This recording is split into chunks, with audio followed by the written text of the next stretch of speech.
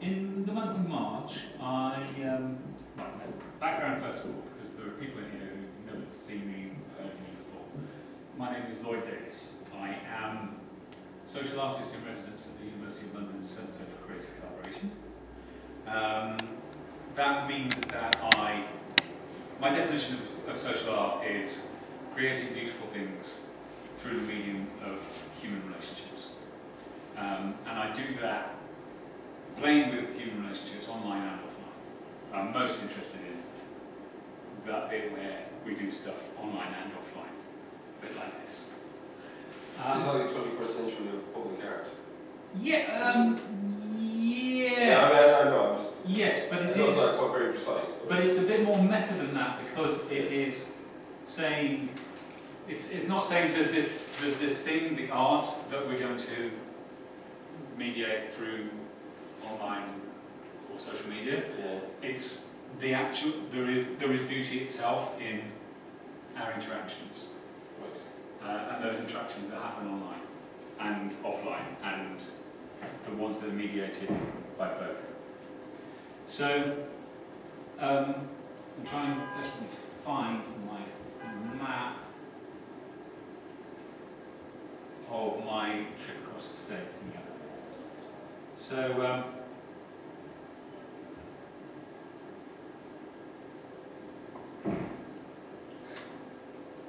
so in March, I did this project called Please Look After This Englishman.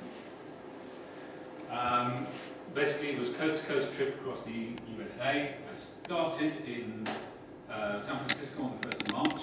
I had in my pocket a ticket from New York back to London on the 31st of March. Um, and I had my online social network to help me get from where I was, standing on the edge of this enormous continent, with infinite choice in front of me to help me sort out how I might find my way from one end to the other. I've heard about this, yeah. Um, so, um, so essentially, what I was doing was I was saying, um, I was in, I, I'm in, I'm in San Francisco. First stop, I want to get to. First stop, I want to get to Austin, Texas, for, for the South by Southwest Um, I'm here. I don't know how to get there. I don't drive. By the way, that's a little constraint on everything. Um, I want interesting people to go and stay with on the way there. What's the best way I can go? Um, and basically, I wrote, I wrote a blog post and I said all of that. And I said, and I'm going to bed now, and in the morning, I want some information to help me make a decision about what, I'm going to do. And I'm going to make my decision based on the information. So I'm, I'm not sure how good your, your geography of the United States is, but San Francisco's, you, this is back to front, I'm doing it my, my way. I'll do, I'll do it for you, okay? This is West Coast. Uh, San Francisco's there about halfway down. Austin, Texas is in the southwest. So that looks like a pretty good way to do it. What I said in my blog post was, you know, I can imagine going down to LA and then across the desert somehow. There's a train that goes that way. Um, I can imagine, and, and by the way, there's lots of stuff going on in LA. I know people in LA, so maybe I could go that way. Or maybe I could go straight across through Salt Lake City and Denver and then drop down. Or maybe there's some thing that you can think of for me. And, um, and I will, I will do what you tell me to do. And um, so I woke up in the morning and I had two messages in my mailbox. One of them was from, remember, this is where we are. One of them was from a friend of mine, Tracy, who lives in Milwaukee. Uh, and another was from an ex-girlfriend of mine, uh, who now still lives in London, um, who said, I've got three friends that I trust you with in the United States. Um, two of them are on the right over on the east coast. One of them is in Seattle. And so I'm San Francisco, well, Silicon Valley, Seattle, Milwaukee, Austin, Texas. So that's the way that I went. um, I, um, I bought a rail pass Uh, Amtrak do a rail pass uh, that allows you to do, well, they, they do several, but the one that I bought um, allows you within 30 days to do 12 segments um, for $579. Uh, and the segment is something like, could be something like San Francisco to Seattle. Um, that journey is, uh, don't worry about the visuals, they're not working because the internet is shit hate it. But I love you, and so I want you to come and see that. It doesn't love us, we didn't get that, very old. No, you get that at the end. I also, I'm also very, very keen on the fact that Nikki brought in a laptop cover with a monkey on it and a banana. And I want to see that monkey eat the banana. Um, so, where was I? Ah, yes, San Jose. I got a train from San Jose up to Seattle. That's 24 hours. Um, stayed overnight with um, these friends, Anne and Kev, who were friends of my ex-girlfriend Jo, um, who had never heard of me until two days before. Um, and um, hung out with them all through Sunday morning, had a sauna in their basement, which was fantastic. Um, went out and had lunch, brunch and you know, wandered around Seattle. Then they put me on a train from Seattle across to Milwaukee. That's 24 hours. That's 43 hours on the train. That's that's longer than it, it feels longer than it sounds. I mean, it sounds a long time, but it really is. It really is a long time, especially because the way it gets chunked up, you kind of got um, uh, Sunday afternoon, Sunday afternoon evening in going through Washington State. Once you get once you get into the on the Monday, that that whole day is going through Montana and North Dakota. When you wake up in the morning in Montana, it's beautiful mountains and streams and all that kind of stuff. And then very, very quickly it becomes completely flat. And all the way through Montana and North Dakota is completely flat. It's like it's like driving around in circles in the fens. It's it's you know it, it's just there is nothing there and especially in well, yeah, and especially in March, it's covered in snow, so it's white. Um, so and there's no mobile phone signal. So I'm, you know, me, I'm a little Twitter whore. I can't keep off all of that, um, but I had to because there was, there was nothing else for me to do. So I get across to Milwaukee. I had a bizarre evening in Milwaukee because it was Mardi Gras um, and I ended up going to a Mardi Gras party in a Lutheran church. The whole big story, it's all on the blog, it will all be in the book, it will be in the TV series. Um, and um, yeah, then got on a train from Milwaukee, little train from Milwaukee down to Chicago and took two hours. It's like London to Birmingham, it's, it's you know, it's nothing. Uh, and then a 29 hour journey from Chicago to Austin. So that, that's how, that's kind of how it worked.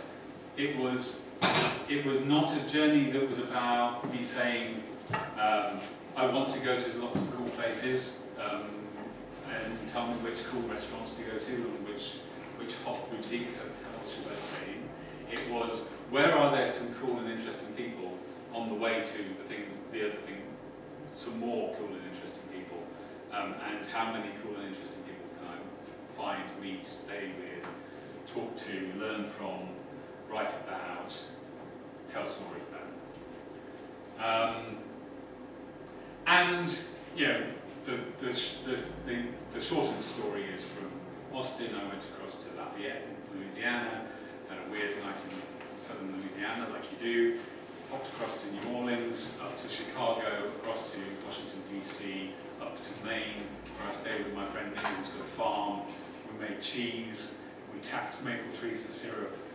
Um, we, um, he threatened to kill a pig, um,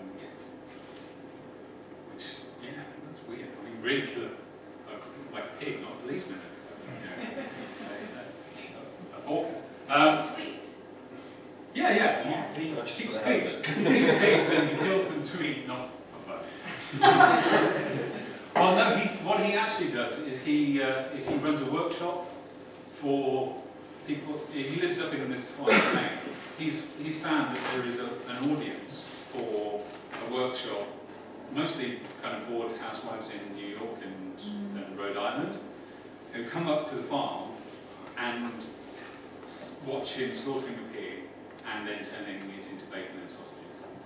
He has this kind of charcuterie workshop for folk who come and stay on the farm. But chicken. Sorry? But chicken. It is. I think he, I think he calls it pork camp, actually, or charcuterie camp. Um, yeah, that's that's him monetizing social media. He gets rich people to pay a large amount of money to come come to his house and watch him kill things. Do make watch him do his job basically. Um, anyhow, Please help. so then so then I came back down and got, went to New York and, and, and came back. Obviously I came back because I'm here. So so what was the what was the what was the purpose of all of that? Um, it was essentially to understand what I mean. I've just been in this session on evaluating social media.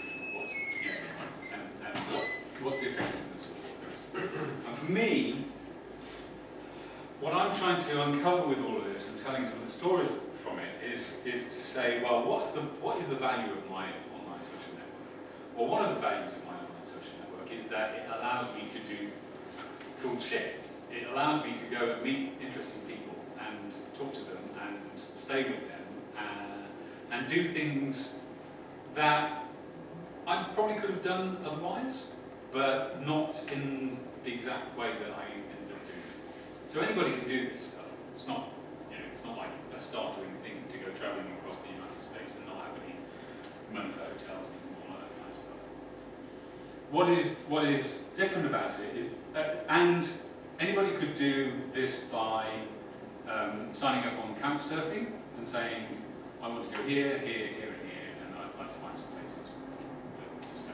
What's, what is interesting to me about this is that this was entirely sort of within my existing social network. Um, and that essentially what I've created simply by writing on the internet and talking to people and tweeting and holding these conversations is created a safety net for myself so that when I stand there in San Francisco and have the entire continent in front of me and kind of infinite choice about where I might go, uh, and none of the normal props, I have a way of moving forward and and um, and getting to my destination. And then there's a whole bunch of, of kind of metaphorical stuff about what does this, you know, what does this journey tell you about the state of who we are and what we do and, and how we interact with each other and what, we, what we'll do for each other in, in certain circumstances. And what, you know, how does it map onto all sorts of other um, situations? There are all sorts of, there are all sorts of um, kind of analogous situations where you're effectively standing on the edge of a large territory with a large number of possible choices in front of you uh, and not sure about which way to go. And it would be great to have something that you could trust to carry you through the decision making, a simple decision making process to get from here to the other side, to get from here to the end of your project, to get from where you are to where you want to go. So, the other thing that I think is interesting about it is it's it's about creating uh, it's about creating uh, some sort of artifact that is at one level it's a performance. So it was something that you could watch as it went, as it as it went on. Um, but then it becomes a set of stories that you can read and interact with. It's become a, it's become a show that I can do. It's become a series of talks that I can do. Uh, obviously, it then also can become all sorts of other artifacts that people can interact with in other ways. But these artifacts are not just about, it's not just about me being an author, going out and doing some research and then writing it all up. It is about us as a network uh, co-creating a piece of work. It's co-creating a performance, co-creating the stories, because I have a story and I wish I could share it, but I can't, um, which, which basically goes like this on, on the map, you know, all of that. Now, so I'm, I'm going along, Tracy in Milwaukee's life was coming along like this. And at one point, at some point in time, we went like this. Now, I'm interested, I, obviously I can tell you this story very well, and over and over again, uh, nauseam, I will. But I'm also interested in what Tracy's story was beforehand, and what it, what it, how, what it became as, as we, we came to intersect, and what happened afterwards as well. And that's not something we normally do and talk about and think about. It's like we just kind of say, we just kind of take this one linear view. So one of the things I'm interested in exploring more is collecting the stories of those people whose life I barged through. How did you find your social network evolve as, you, as you're almost going across, as you're going across this journey mm-hmm. and you're being put into contact with people you didn't know and then they become part of your network? Yeah. Did you find that then they were then, you know, their network then became part of your network, if that makes sense? So almost as you were taking each step, it was evolving in Yeah. A couple of things. One is, yes, in a way, in that I had this, I had my friend Jo, who I have very little to do with. normally. I mean, I, poor girl went out with me in college 25 years ago. Um, yikes. Um, I just say that because I just like to prove to people that I did have a girlfriend once. Um, um, no, um, so she she provided me with two places to stay. Now I had no idea that that was going to happen at all. I mean, I, I, kind of assumed that everybody I was going to stay with was going to be people that I was on Twitter with every day, but it wasn't. It was a real mix of people I'm on Twitter with every day, people whose blogs I've read and we've kind of interacted through that. Uh, a couple of people who I knew through Seesmic, when Seesmic was a video platform, very strong links there. But there were also these two people in Washington and Seattle who were a distant, very distant uh, links, but links from a, from somebody who I, I didn't know particularly well. And I found the edge of my network when I was in Austin trying to get to Lafayette. Um, and it, so this, so this, this was again all that girl. So there's a girl in Lafayette. Show who he folks. Um, and don't want to be blushing. So there's a girl in Lafayette who, we decided we were going to meet. and, um, and, yeah, thank you. there's, no, there's nothing to be ashamed of. and I'm in Austin, and um, as long as she's not watching, it'll be fine. Um, Not yet, you know. but the Twitter isn't working. No. So uh, I'll tell the I'll tell the really really um, very thin version of the story. Um, so for one reason and another, it turned out that it was probably wasn't a very good idea for me to turn up in this small town in uh, rural Louisiana because there were, there was somebody there who was not keen on me being there, uh, and I didn't want to be on Jerry Springer, basically. um, so when I was in Austin, I was thinking, well, I, I want to get, I want to get from Austin. I need to get to New Orleans because I've already arranged to meet up with a guy there. There was this potential stop off in between. So I started asking how I could get straight from Austin to New Orleans. Um, and people, people put me in touch with other people. Because obviously, I'm in Austin, at South by Southwest, for those of you who don't know, there's like thousands and thousands of surely a hefty percentage of those are going to be people who came from New Orleans and they'll be driving back and so maybe I could get a lift.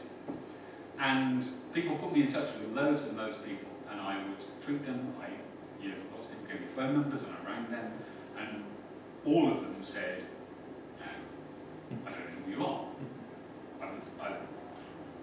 I, don't, I don't follow you, I'm not sure I follow the person who's giving you my telephone number it was it again?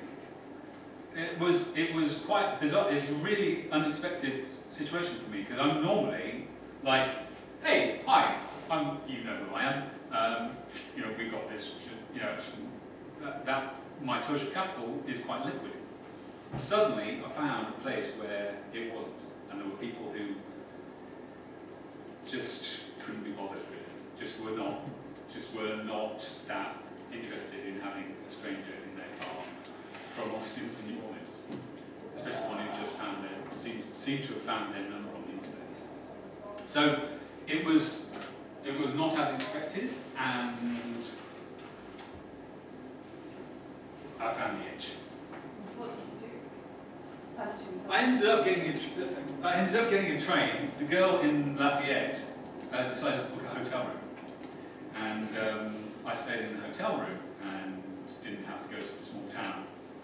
Um, and then she drove me across from Lafayette to New Orleans. Um, it, all- it all worked. It all, the whole thing worked out much more simply all the time than I thought.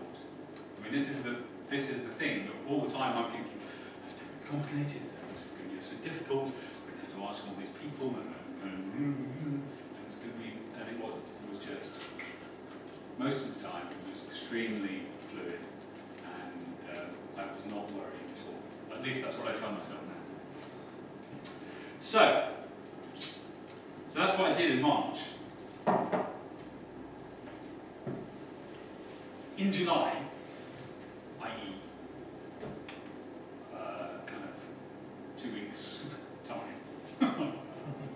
I'm going to do the same thing, but I'm going to do it in this country. Uh, maybe somewhere in the, uh, else in the EU, I don't, I don't mind really.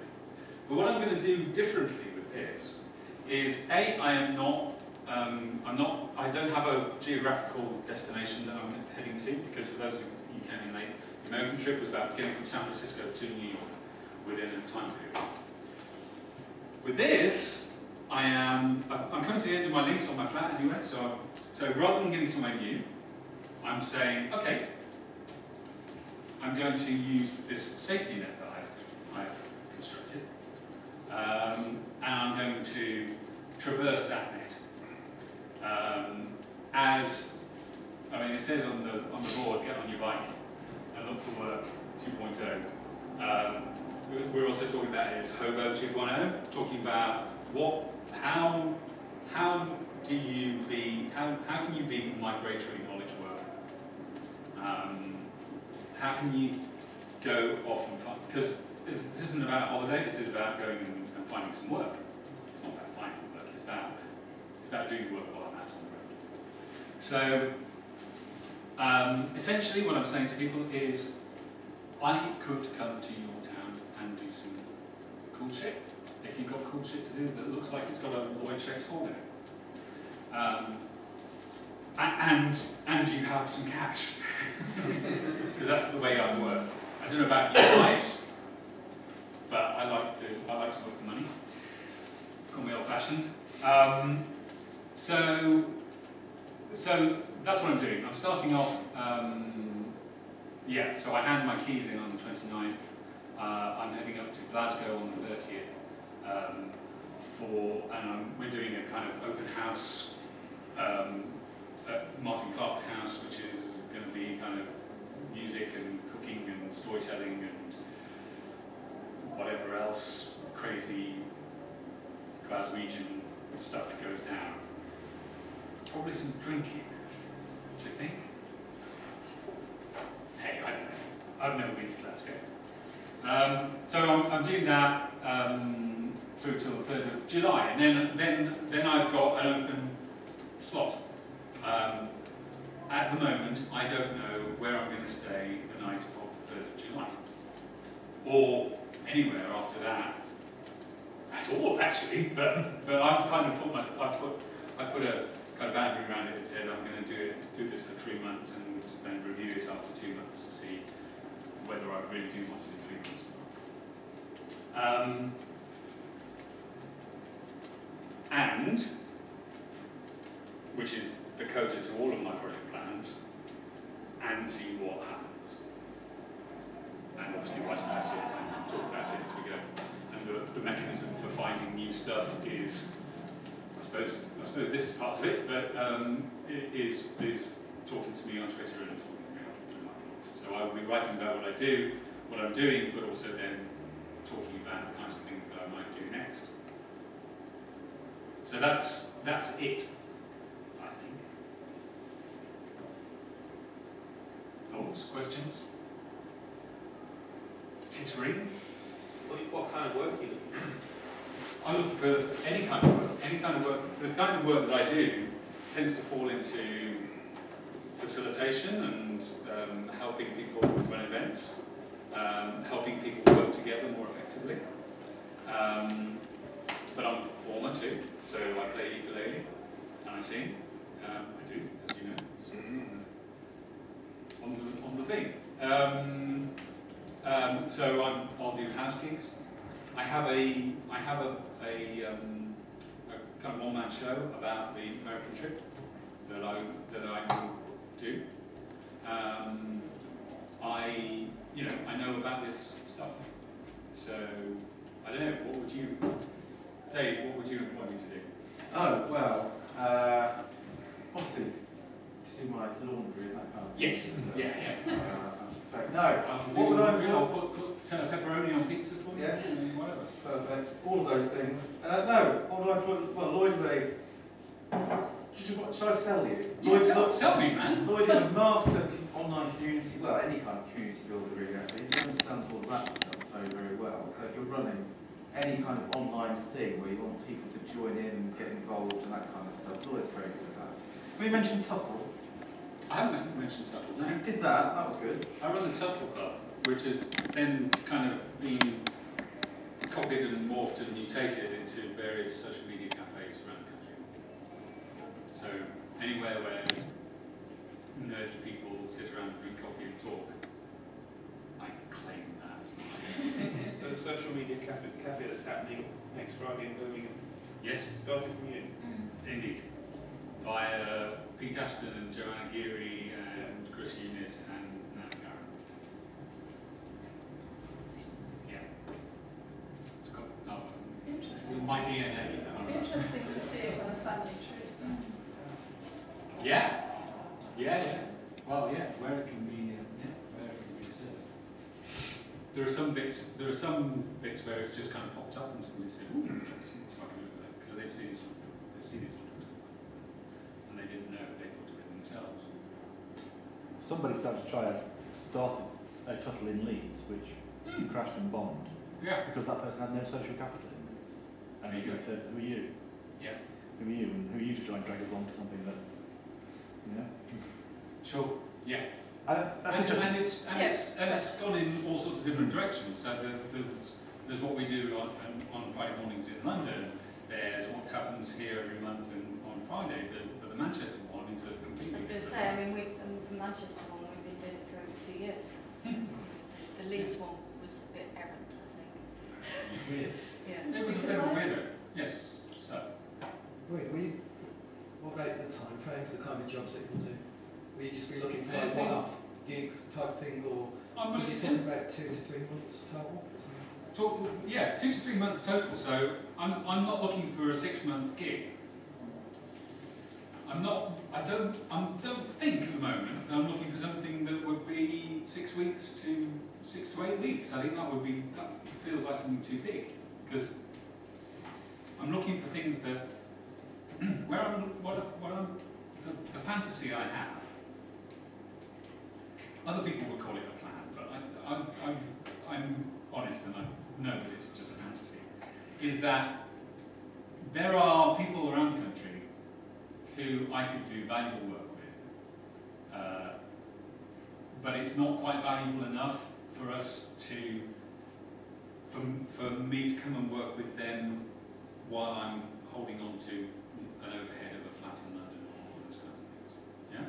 So it's stuff that is valuable but not quite valuable enough for that. But it's valuable enough for, for us to do this stuff together if I can just come and sit with you and sleep on your sofa. Is it, will you be looking for the, for the jobs, or is, are people going to be saying, wait, can you come and do, is it, can you or is it just? Both, both I would imagine.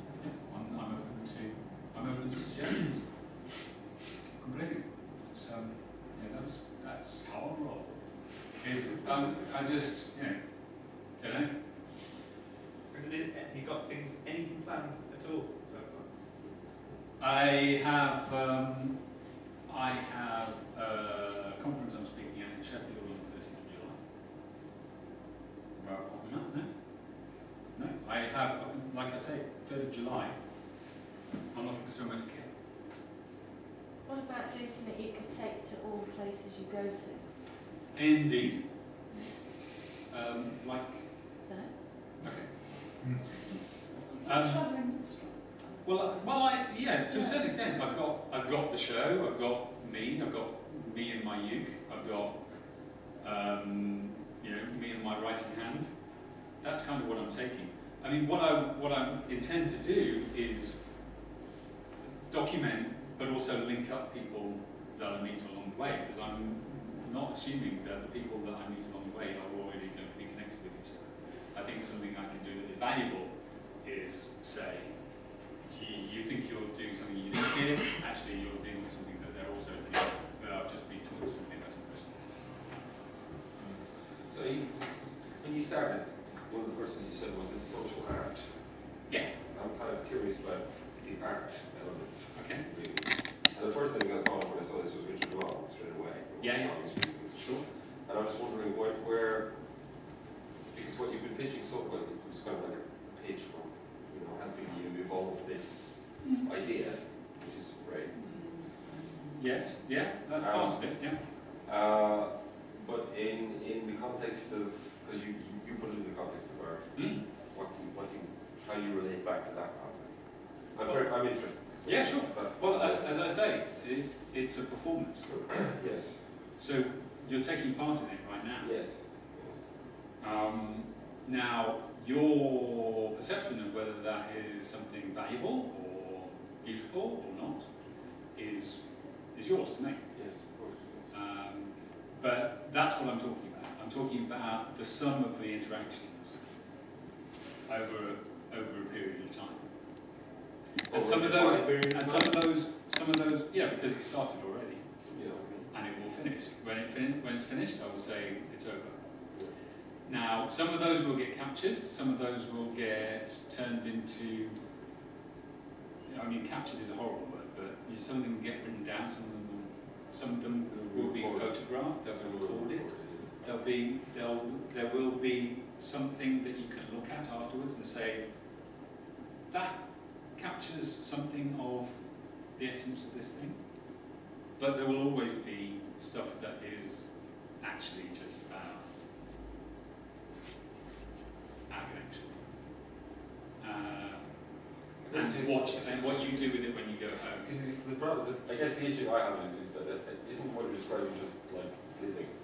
isn't that, isn't that what Yeah, really? yeah, yeah. But it's it's it's demonstrating a way of life Yeah.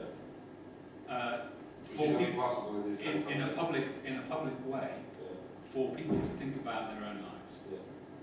It's it's presenting it's presenting something and demonstrating something. In particular, kind of faith in in one's online social network, if you like, that I think is useful to other people. In some ways, it's almost a psychogeography project where you, you're being Psycho. affected by your environment and hmm. your environment is moving you around. But instead of the environment being the built environment, it's your social environment.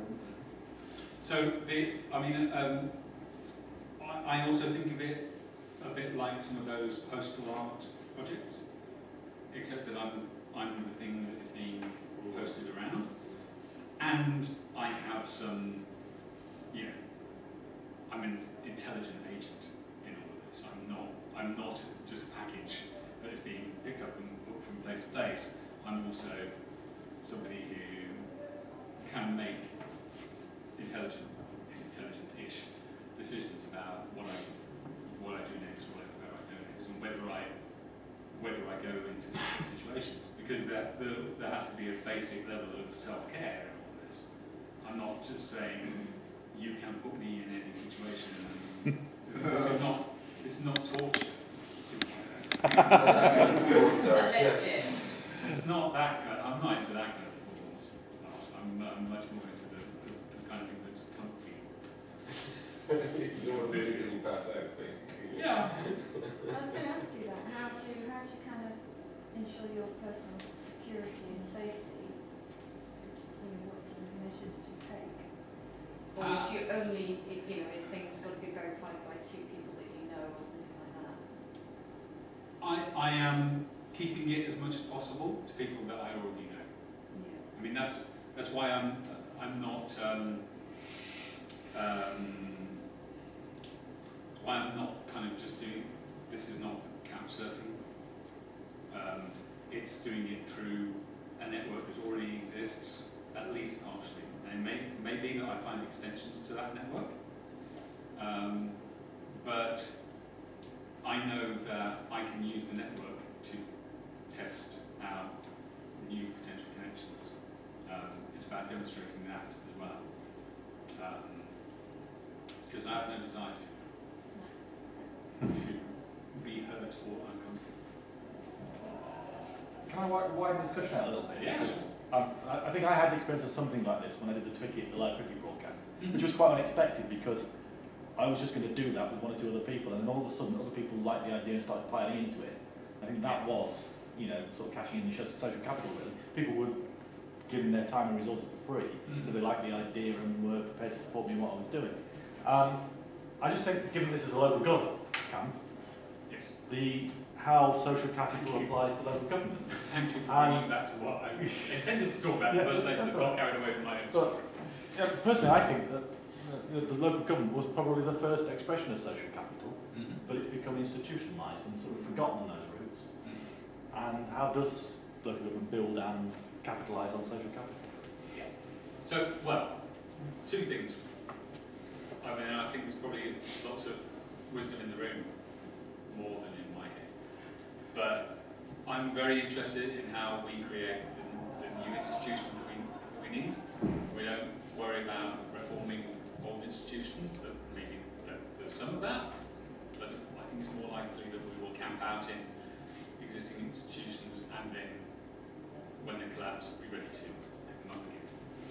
Um, but yeah, the, the rest of your question, I don't guys, who else? Role of social capital in local government. It, the, the, the, I think the, I think the big thing that I've come away from in, in all of this is recognising that it's something I'm trying to write about at, at the moment about organisations in general. The form of organisation that, that we've we've got are all kind of cyborgs. They're part machine, they're Yeah. part human, machine bit is still more dominant than we'd like it to be. I interviewed somebody earlier on who said that the world is not ready for local government as a collection of individuals with differing opinions. And that's the problem with local government using social media. Um, you know, I think that's where we need to be because people connect with people, like institutions. Also, somebody, I think it's Carl from Derbyshire said this morning that one of the biggest complaints they get is about gritting. They gave one of their gritter drivers a flip cam, he went out and filmed his journey, edited it and stuck it on YouTube. And, you know, and the comments they got were, oh, this is fantastic, now we know what your gritters do, aren't they wonderful people? You know, and it completely changed people's perception of the service because they could, could interact with the person who was delivering. Absolutely. Yeah. Yeah, change is about people, not about technology, it's about people first, it's about engagement and conversations between people. Social media is a first port, port of call for a lot of people and engaging on that conversation and then becomes face to face. So that's, that's what I take out these events, always.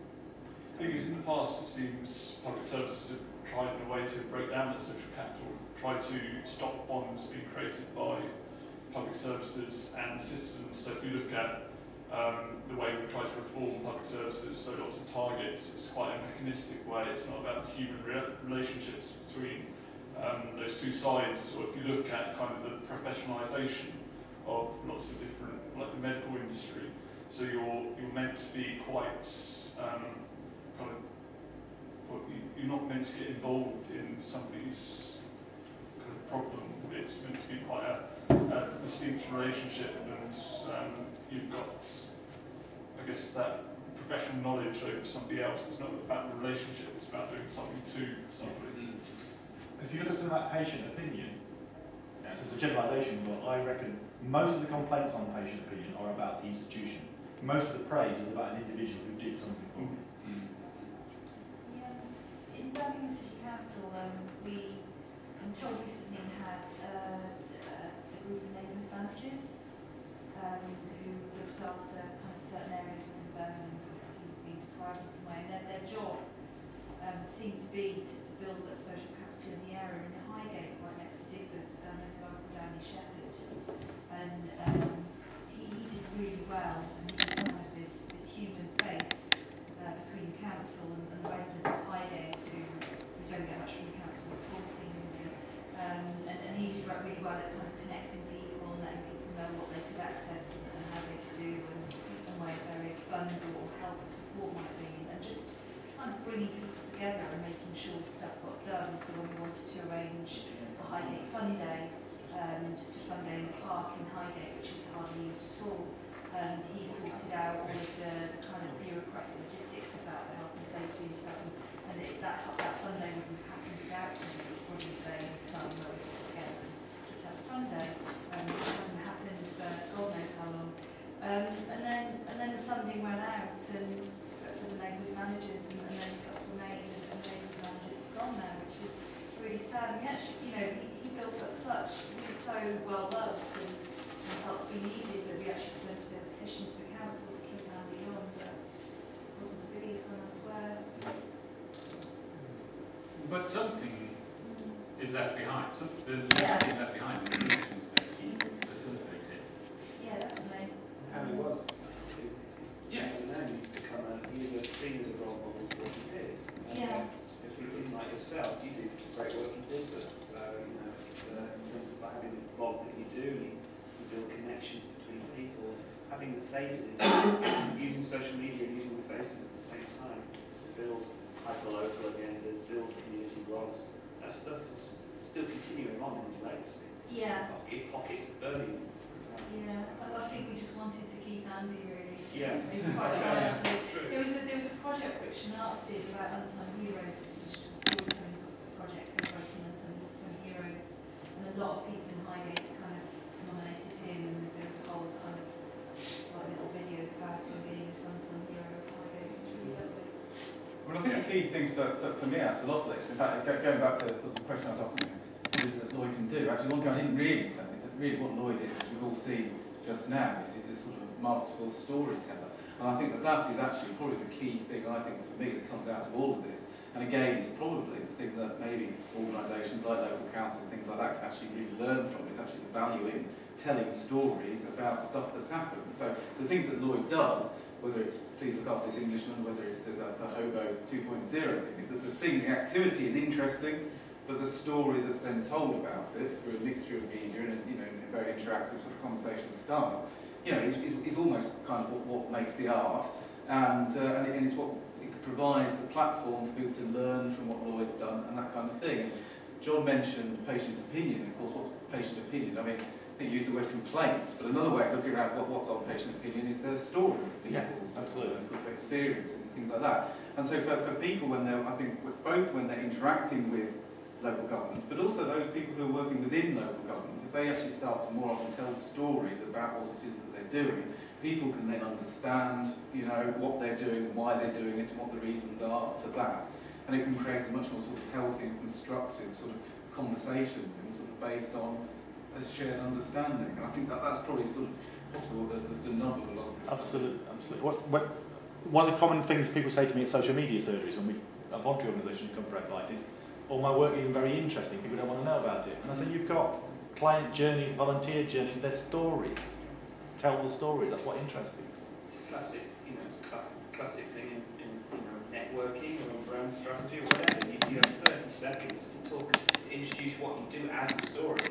Give us one example of something amazing that you've done or a person you've helped. That, that is far more powerful tool to marketing a local authority does um, you know, most of the things that they try and do, I think. Those, those case studies of how people they've helped or things that they do. Very powerful. Too. Absolutely. Um, thank you. Are we getting back together for a plenary? No, I think it's just literally beer o'clock. beer o'clock. Bong. Beer. Well, thank you very much. Thank you. Thank you.